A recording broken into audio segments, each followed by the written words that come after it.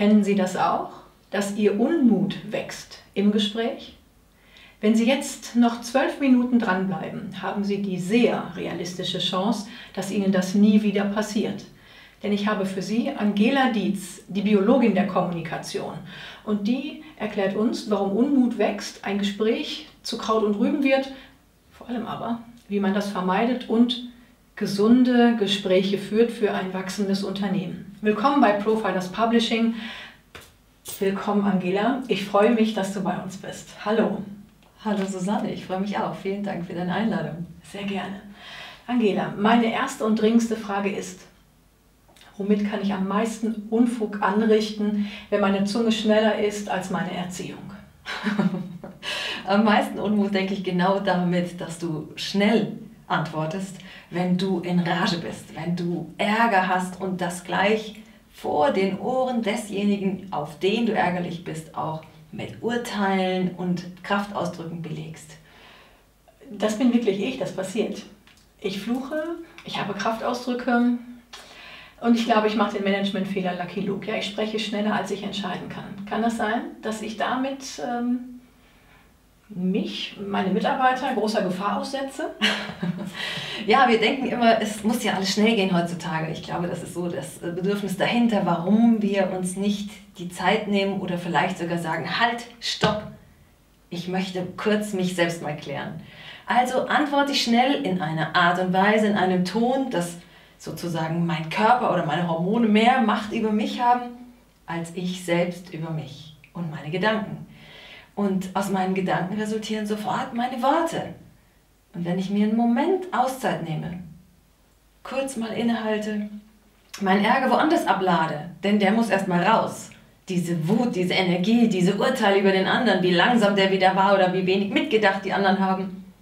Nur nicht vor den Ohren der anderen. Wenn ich das hier abhaken kann und klären kann, um was geht es mir wirklich? Was ist das Bedürfnis? Nämlich vielleicht, ja, Unterstützung, oder Entlastung. Aber wenn die nicht mitdenken, dann habe ich keine Entlastung. Und wenn ich schnell reagiere und noch mehr Porzellan zerschlage, kostet mich das auf längere Sicht wahrscheinlich noch mehr Zeit. Hm.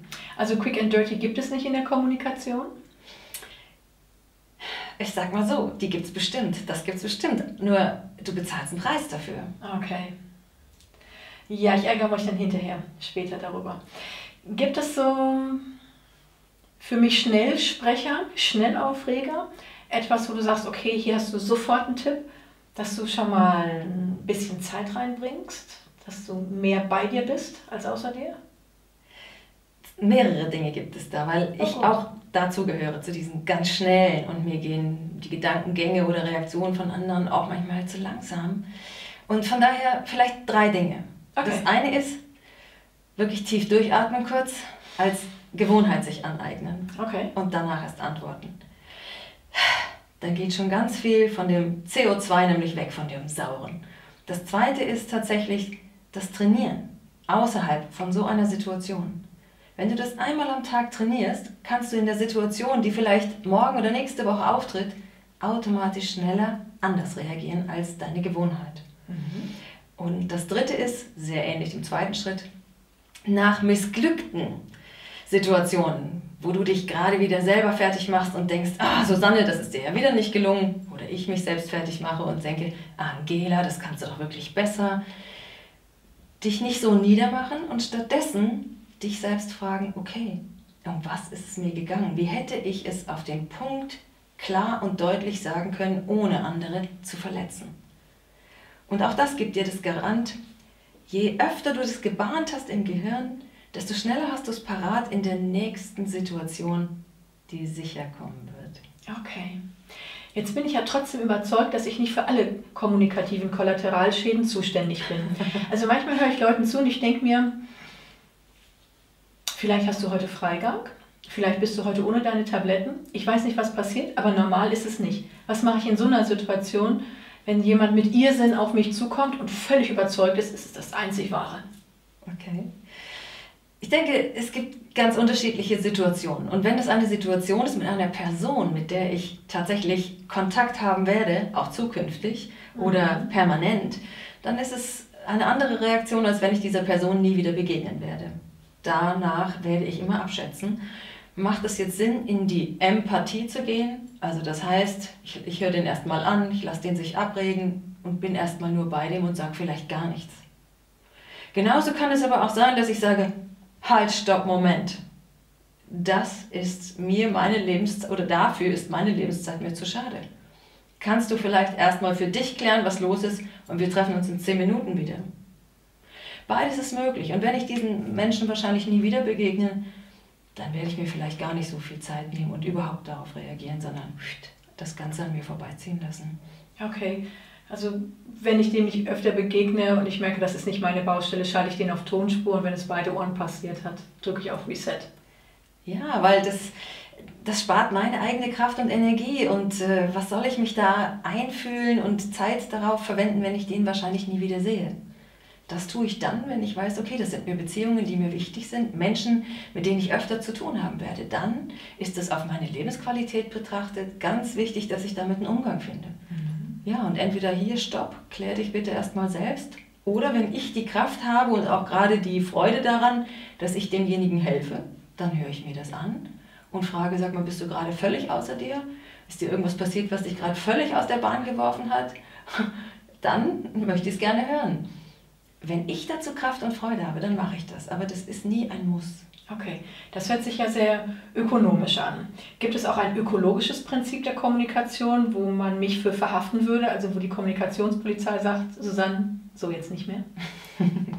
ja, das Ökologische ist äh, das, wann, ja, ich sag mal, wenn in der Kommunikation immer nur die Seite des einen zählt, wenn immer nur jemand seine Bedürfnisse durchsetzen will, auf Kosten der anderen, dann ist das Ego-System, aber nicht Ökosystem. Aha. In dem Ökosystem der Kommunikation und in, in der gesunden Kommunikation und Führung geht es darum, dass die Bedürfnisse aller gehört werden und so weit möglich berücksichtigt werden. Das Wichtigste ist aber erstmal, dass sie überhaupt gehört und ernst genommen werden.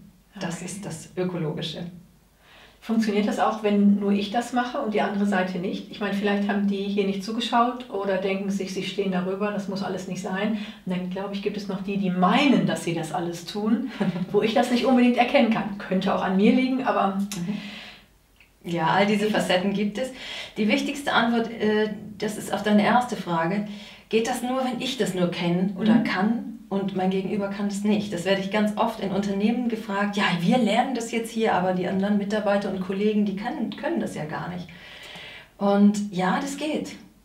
Das heißt nur, dass du doppelte Arbeit hast. Das eine ist, dass du für dich die Selbstklärung durchführst und dass du beim empathischen Zuhören die Bedürfnisse der anderen Seite auch hinter den Worten oder vor allem hinter Vorwürfen hören kannst oder hören würdest. Mhm. Und dann machst du dem anderen ein Angebot. Geht es dir gerade um, vielleicht ernst genommen werden? Geht es dir darum, einbezogen zu sein? Wenn sich jemand bei dir beschwert, hey, du hast mir die Einladung zum letzten Meeting überhaupt nicht geschickt, ich wusste von gar nichts, wolltest du mich wohl nicht dabei haben? Dann könntest du dahinter, hinter diesem Vorwurf, einfach das Gefühl und das Bedürfnis des anderen hören. Weil derjenige das nicht gelernt hat, dieses Bedürfnisbewusstsein, dieses ökologische Kommunizieren, für sich überhaupt in Anspruch zu nehmen. Also, ja, bist du sauer und wärst du gern dabei gewesen? Ja?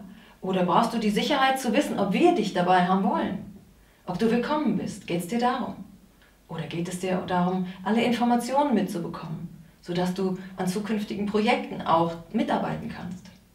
Und derjenige wird dann schon sagen, um was es ihm, ihm geht oder ihr. Okay. Also du hast doppelte Arbeit. Ja, und ein bisschen sinkt meine Stimmung an dem Punkt, dass ich denke, meine Güte, jetzt soll ich für zwei arbeiten. Was habe ich davon? Du hast davon, dass wenn du bei ihm auf den Punkt bringst, um was es geht, dass du gar nicht anfängst, dich zu verteidigen, Dinge persönlich zu nehmen, mhm. was der normale Weg ist, wie Menschen reagieren, wenn sie so einen Vorwurf hören. Die meisten fangen an, in Verteidigungs- und Rechtfertigungsschleifen den Dialog fortzusetzen, worauf der andere dann meistens mit Ja, aber trotzdem war das und das doch nicht okay.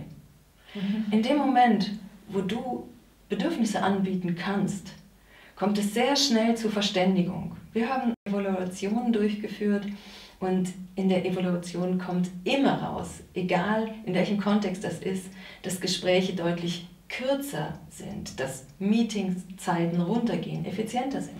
Und das ist das Erstaunliche und auch, ich finde, das Lohnenswerte daran. Okay. Machen das viele Führungskräfte? Gehörte es nicht dorthin eigentlich? Es gehört auf jeden Fall dahin, vor allem weil der Alltag für sie dadurch entlastet ist. Mhm. Auch wenn sich das am Anfang jetzt anstrengend anhört, weil es ein Umdenken bedeutet, ist es so, dass es Zeit spart und sie sind viel aufrichtiger und sie kommen, glaube ich, viel eher auch an neue Lösungen, an, an Ideen ihrer Mitarbeiter damit heran. Okay. Für mich als einzelne Führungskraft kriege ich viel hin. Gibt es etwas, was mich unterstützen kann, das zu lernen? Ich meine, ich habe eine Menge zu tun in der Führung. Ähm, alle wollen was von mir und jetzt soll ich eventuell nicht nur für mich, sondern auch noch für andere Mitarbeiter, Kollegen, Kunden denken. Gibt es was, was ich in die Hand nehmen kann? Mhm. Ja. Äh, jedes Unternehmen, jeder einzelne Teilnehmer, der zu uns kommt, ob es Beratung oder Training ist, die bekommen immer Karten mit Bedürfniswörtern. Tatsächlich einer neuen Sprache. Es ist etwas so in die Richtung Vokabeln lernen. Die bekommen ganz kleine Karten, die sie überall mit hintragen. Die bekommen größere Karten, die an ihren Arbeitsplätzen liegen, in ihren Koffern sind, am Kühlschrank zu Hause oder in der Cafeteria hängen. Überall. Manche haben das als Mobile in ihren Büros aufgehängt. Also die haben sich wirklich ganz, ganz viele Lernmöglichkeiten für unterschiedliche Kanäle damit gebastelt. Also tatsächlich die Wörter lernen. Und sich selbst immer wieder die Frage stellen, wie geht's mir, was brauche ich? Völlig banal, aber so läuft's und so kommt das immer mehr ins Bewusstsein. Okay, dass ich erinnere, worum kann es gehen. Hast du drei Bedürfnisse für mich? Was ganz, ganz häufig ist, ist Autonomie, Selbstbestimmung. Ja. Dann ist es Freiheit, das ist sehr nahe dem anderen. Das zweite ganz große, würde ich sagen, ist Dazugehören kommt häufig durch gefragt werden, ernst genommen werden zum Vorschein. Sie wollen dazugehören zu diesem Kollegium, zu diesem Unternehmen, sich damit identifizieren. Und das ganz Große, was heutzutage ist, sie wollen Sinn. Sinn in ihrem Tun, in ihrer Arbeit, in den Unternehmenszielen. Das, ist, das sind so drei Bedürfnisse. Oh, jetzt dämmert mir vielleicht eine kleine Sorge herauf. Kann es sein, dass die neuen Generationen weitaus mehr auf Sinn und ähm, auch das Sehen ihrer Bedürfnisse pochen? Ja, why? Ja, sie wollen das Why dahinter wissen. Die neuen Generationen, die nehmen nicht einfach alles mehr so hin. Das, mhm. das sehe ich auch. Stecken dadurch aber auch die Älteren an, die im Unternehmen sind. Auch die haben mittlerweile einfach viele äh, Dinge, die vorhanden sind und wollen nicht nur irgendwas arbeiten. Es ist ja nicht so wie früher, dass Arbeit und Denken so getrennt sind, sondern sie wollen auch einen Sinn haben. Sie wollen einbezogen sein, verstehen, Transparenz, Information, mitentscheiden. Okay. Dann bin ich ursprünglich gekommen von Kommunikationserinnerungen, die wirklich ins Kraut gingen und freue mich, dass ich für die Zukunft was gewonnen habe. Danke fürs Dasein, Angela Dietz. Ja, danke Susanne. Hat mich sehr gefreut. Dankeschön.